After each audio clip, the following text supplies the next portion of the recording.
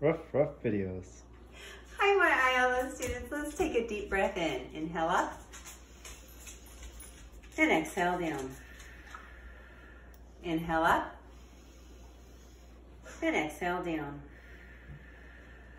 Happy Thursday. Let's grab our daily schedule and our dry erase marker, please. And Miss Kelley's got to get the lid off. Once I get the lid off, we'll look at this and we'll say, did you already have your breakfast? What'd you have? Maybe you had some cereal or maybe you had some eggs and toast. Let's cross that one off because you've already eaten.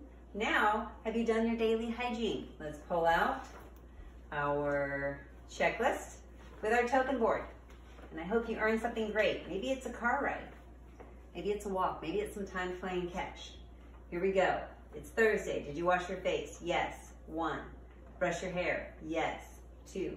Brush your teeth? Yes. Three. Put on deodorant? Yes. Four. And put on clean clothes? Yes. Five. One, two, three, four, five. And now you get to go for a car ride, play some ball, whatever it is you work for. Erase that when you get back. Pull up your daily schedule. Check off daily hygiene and work for something different Good Morning Calendar. So let's pull out our calendar. There we go. Let's do our days of the week song. There's Sunday and there's Monday. There's Tuesday and there's Wednesday. There's Thursday and there's Friday. And then there's Saturday. Seven days of the week. Yesterday was Wednesday, November 18th, 2020, which makes today Thursday, November 19th, 2020. How do I want you to mark the day of the week? Thursday. Correct. Circle Thursday. What about the um, month of the year? Underline it. Thank you. And the day of the month. Correct. I want you to circle it and underline the year 2020. So, Thursday, November 19th, 2020. We have to count to 19.